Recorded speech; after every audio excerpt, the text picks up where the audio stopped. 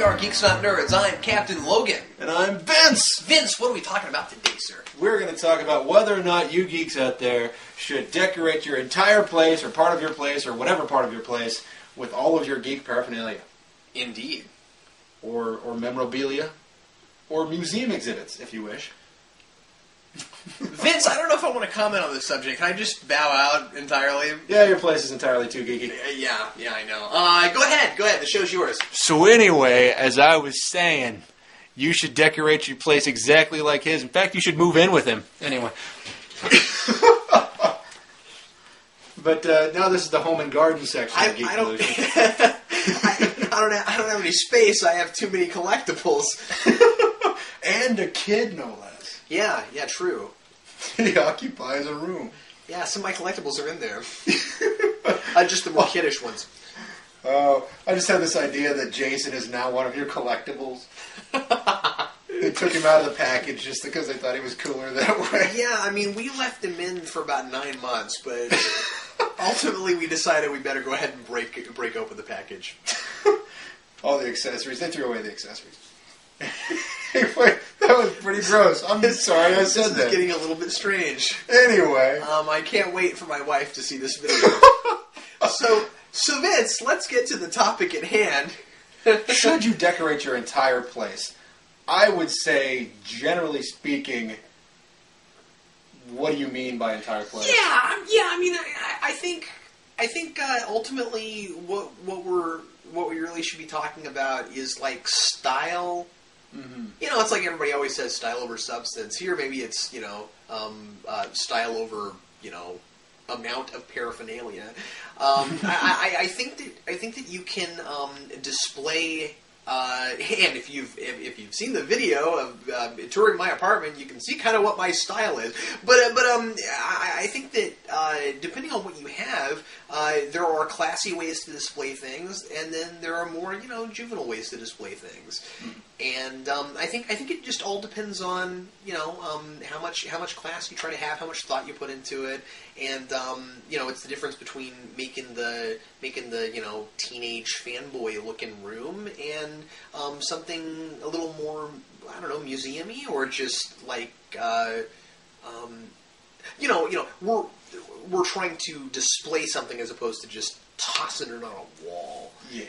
You know, if you'd gone into my room, oh, even a year ago or so, or actually, it'd been about two years ago. Anyway, if you'd gone into my place and uh, looked in there, you'd think a teenager lived there because I didn't have more than that much room in between posters on my walls. And uh, I, I'm very much so a function over form type of guy. So uh, I didn't necessarily design this place to look pretty. I designed this place to have adequate floor space for me to do my fitness workouts, things like that.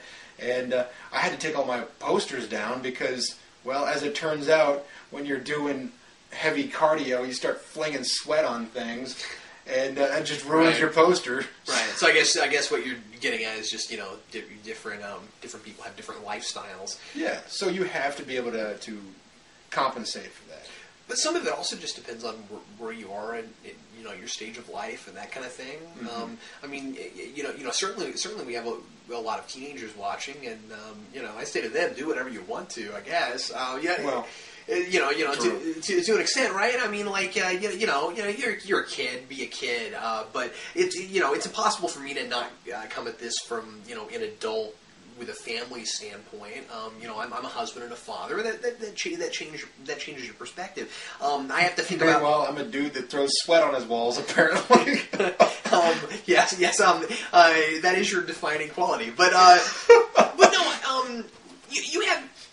It's interesting um, looking at the two of us because uh, we, we're, we're at very different uh, stages of our life. Um, not to get too terribly personal, but I mean, of course, you know, I'm, I'm married and I have a kid. Uh, Vince, um, Vince has a steady, uh, a steady girlfriend and, and lives alone at the moment. And um, so, you know, we were two, two very different uh, kinds of stages. There's a big, there, there's a big difference then um, when uh, or at least I, I think there very easily could be.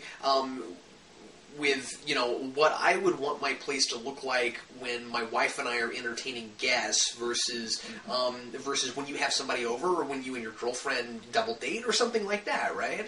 Um, it's just like like uh, like you know different different kinds of you know if, if, if you were if you were married, it would be a way different dynamic, right? You know, if you had a wife and you were married, um, you you two together would decide what your style was, what your style of, of decorating was, and just and then just your um, you, you know what what uh what personal traditions you uphold and those sorts of things, right? Like, um, you know, are you going to be old school enough that every time you're invited over to somebody else's place, you bring a gift? There are people who do things like that, right? Um, you, you know, that, that, that sort of thing. Uh, some, some people just like to try to be really classy. Um, um, in their in their relationships. And so, uh, you know, um, we have a really decked out, geeky looking apartment. We also have a lot of other stuff. We kind of balances out. We've got some some, some kind of uh, you know more, more classic pictures on the walls, and and and um, and we've got some paintings and some and some things of that nature, um, interspersed with all the with all the comic book and Star Trek and that kind of stuff. And uh, you know, it makes things a little bit less off putting to people who come over and and, and aren't you know entirely into that kind of stuff. But even our living room has our best you know stuff. It's not like we keep it's not like we keep all the comic book stuff out of the living room. The signatures are there and the weapons and stuff like that. Now, when you were about to move in with uh, with uh, with Sarah, Mhm. she said that there was a particular way she wanted to decorate the place with your geek stuff. Yeah, yeah. Well, um, see, I, I interpreted it wrong because because when when uh, when Sarah and I um, were were, uh, were about to get married, um, she made it sound to me like uh, she wanted. Uh, you know the living room to be really traditional. She wanted the, the, the main the main living space to be kind of traditional, so when, when we entertain guests and stuff, um, it wouldn't be real off putting. And um, I was thinking, well, you know, we're not we're not going to move into a big house right away. Uh, you know, we, we, we had an apartment. Now we're in a larger apartment, and um, and I didn't want to put everything in a closet. You know what I mean? Like like I, I didn't I didn't want um you know all my cool geeky stuff to be to be out in a closet. And um, it turned out neither did she. Uh, what, what what she what she meant was uh, that that, that uh, you know the best stuff. Uh, she wanted in the living room. She didn't want the living room to be decked out with action figures. Uh, she wanted it to have the signatures and the and, and, and you know the weapons collection and um, and uh, some of her you know cooler, bigger scale figures and things like that. Um, that's what she meant. It turned it turned out, and uh, and it was really cool. I mean, um, it, it turns out we were a lot more on the same page, and um, and uh, I was really lucky ultimately. And you know, you know, we, we happen to be interested in a lot of the same things. And so, um, my, my, whole point in all of this, I know we're talking a lot about ourselves. Um, my my big point of all of this is uh, there's there are there are different ways to do it, and you can do it in you know a more classy way, and that's I, I feel like what we tried to do. I think what it what it really boils down to is is a level of comfort, and uh, how comfortable are you? How comfortable is your uh, your domestic partnership, whether that be a wife, a husband, or a, a girlfriend, boyfriend, whatever.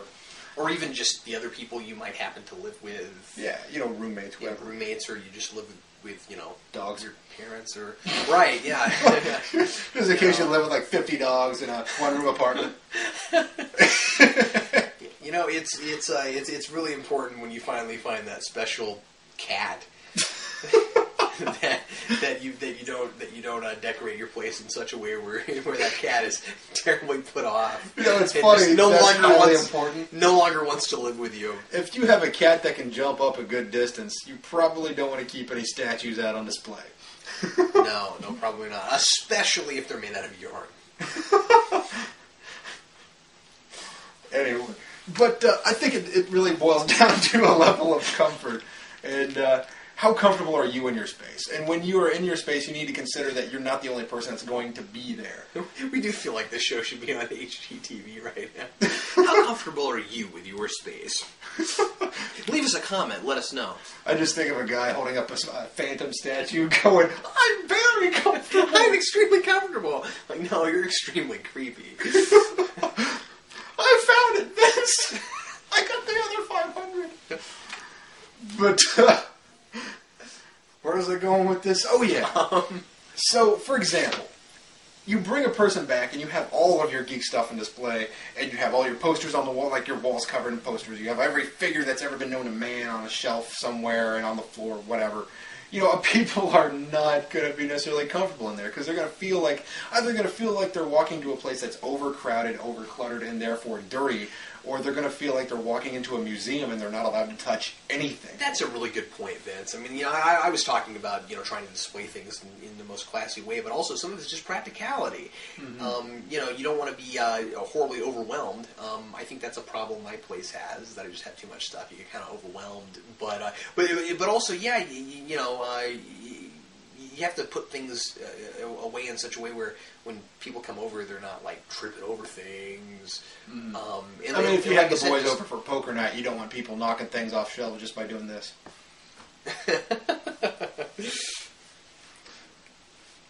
You know, we've got this uh, we've got this big um, like uh, statue of Moses on top of one of our um, bookshelves. Charlton Heston. And one day, no, and and um, and uh, one one day my stepdad came over and um, and uh, he he leaned back and, and that, that that bookcase is not real stable. And um, he, he leaned back in a chair, and he was. I mean, it wasn't like he leaned back a little bit. He was just, for some reason, he was just like leaning back way, way far. and um, the Moses started tipping, like, and it's heavy. I mean, like, it's like, it's like 15 pounds or so. And uh, may, eh, it's probably not 15 pounds. It's heavy, and um, and and it's it, it's toppling like this. And I just thought for sure it was going to drop on his head. You know, so yeah, funny. don't do that. Um, I have never noticed that Moses in her place. really? I'll have to show it to you. You'll probably be like, "Oh, that's Moses." I'll be like, what happened to uh, Grizzly. Adams? I thought that was Grizzly Adams. It's not Moses. but uh, Well, anyway, um, I think it's important to uh, to build your space or, or decorate your space, however you want to look at it, in, in in such a way that everybody who's going to be likely to be in there will be comfortable. And uh, I, you shouldn't deny who you are. right? Yeah, that's really important. I mean, like one of the things that uh, my girlfriend and I have talked about. We've been talking about, you know, moving in together. One of the things is that uh, that we talk about significantly is is where the geek stuff goes, and uh, and the idea of a house. She keeps using the terms man cave, and uh, You know who had the first man cave? Aquaman, Batman. Batman, Batman cave. Yeah, Batman cave, but he was too cool to call it that, so he called it a Bat Cave. Batman cave is located in Batmandu. That was not funny. Don't laugh. I'm sorry. But, don't, uh, you don't see- tell awkward jokes where I have to decide whether or not I should laugh because I'm trying to be polite. See, but in my head, when I look at, uh, if I were to just have my own place, her aside, if I were to have my own place, I would decorate the the general house as a regular house, and then I would have my room that's just this uh, this museum of geek stuff. And see, not me, man. It'd be everywhere. I'm just, I, I'm, I'm weird like that. So you would have spotty things throughout the place, but Yeah, right.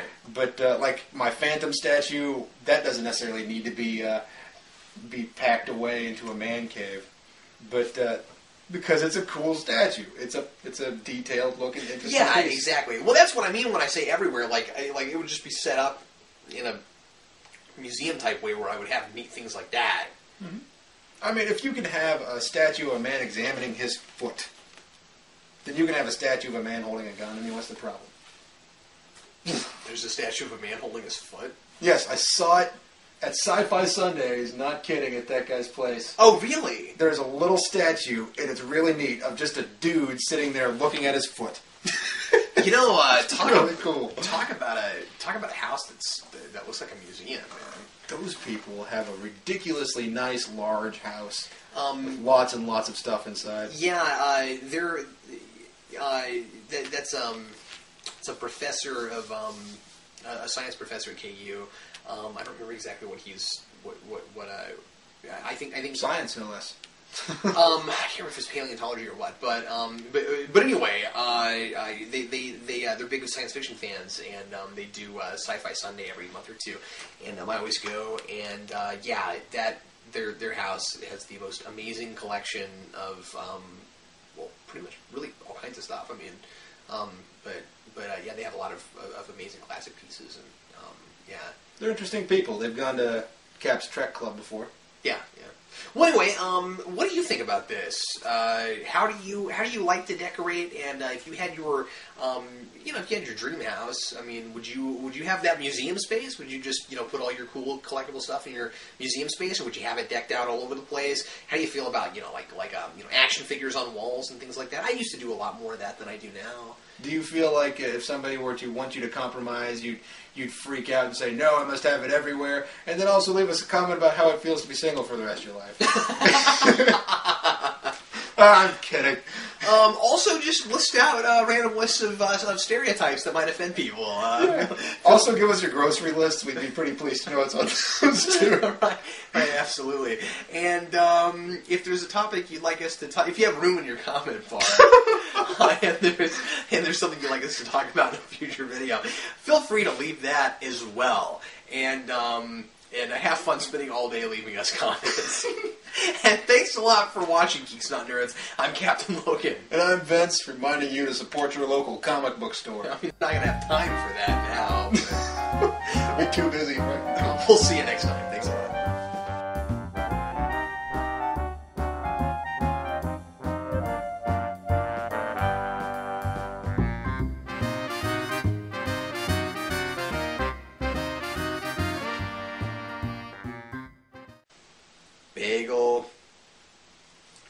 Cheese, spatula, Human blood.